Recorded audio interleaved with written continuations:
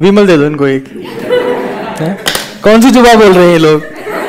कम से कम केसरी तो बोलेंगे बाद में। तो क्या होता है, क्या होता है, मैं आपको एक बार बताता हूँ।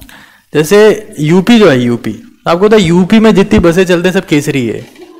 बसें यूपी में चलती है, केसरी है। क्यों?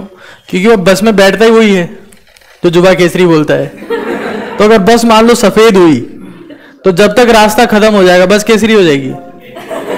नहीं होगी क्या? क्योंकि वो क्या बोल रहा है जुबा? तो लोग ये टॉपिक समझना है ना मेनली तो सर बाकी टॉपिक बाद में जाने। ये, ये आप समझाया करो रोज। तो इस साइन का मतलब क्या है?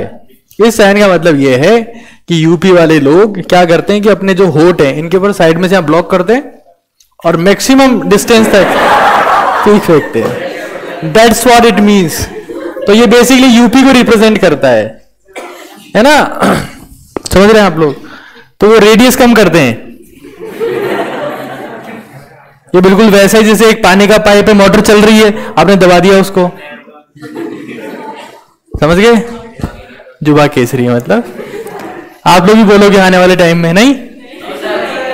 कितने लोग बोलने वाले हैं आप में से? जुबा केसरी? नहीं? कोई नहीं बोलेगा।